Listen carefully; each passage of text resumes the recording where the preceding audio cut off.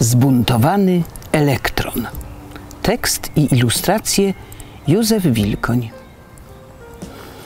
Mam tego dość. Dość tej ciasnoty i kręcenia się w kółko. Krzyknął elektron i wyskoczył z atomu. Usiadł, był wolny. W głowie zawirowało mu od tysiąca pomysłów. Bał się, że ulecą, więc zadzwonił do dziadka cyberneta. Usłyszał głos babci, informatyki. Elektronku, coś taki zdyszany. Chcę o coś zapytać dziadka. Nie ma go w domu. Ostatnio albo siedzi w lesie, albo jeździ na ryby. Babciu, ale ja muszę z nim pogadać. Wymyśl coś, żebyś mógł kontaktować się z dziadkiem, nawet kiedy jest w lesie. Elektron uwielbiał zagadki, więc wziął się do roboty.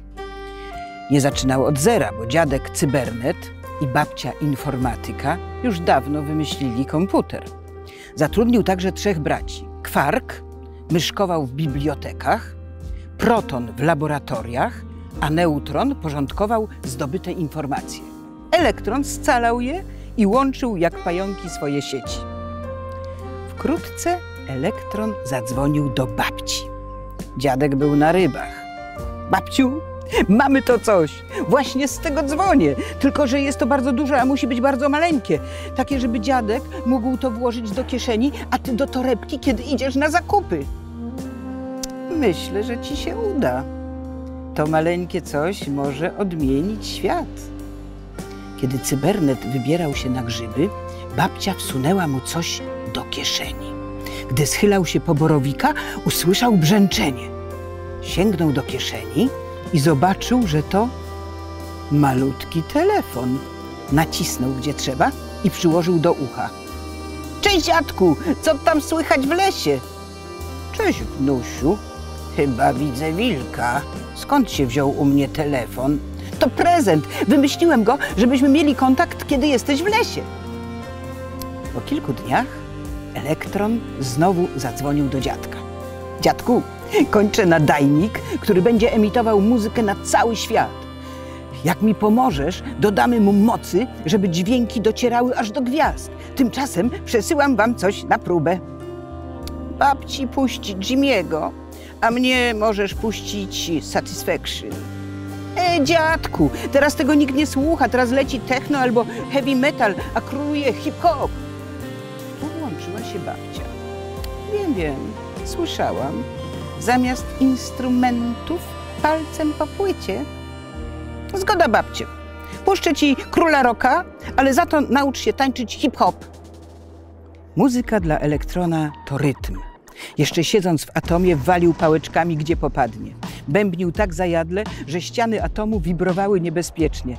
Rozgniewane jądro za karę odebrało mu pałeczki. Cała rodzina elektrona kochała muzykę i taniec. Babcia uwielbiała Hendrixa, dziadek wolał Jaggera. Wkrótce elektron zorganizował koncert z udziałem największych mistrzów elektrycznych gitar, saksofonów, trąbek, kontrabasów i perkusji. Ach, co to był za koncert! Jęki gitary Jimiego obiegły ziemię dookoła i dotarły do uszu babci. Babcia popiskiwała ze szczęścia. Bicie bębnów przechwyciły tamtamy na sawannie i przesyłały je to tu, to tam, wzdłuż i wszerz. Nocą szakal przeniósł dźwięki hen w kosmos. Wielki wóz przejął je i oddał bykowi. Byk przekazał konstelacji żyrafy. Żyrafa obdzieliła nimi swoje gwiazdy. Nazajutrz elektron spał jak suseł. Rano zbudził go telefon. Elektronie, wstawaj, przychodzimy na śniadanie, powiedziała babcia. Przed podaniem kawy dziadek wstał od stołu.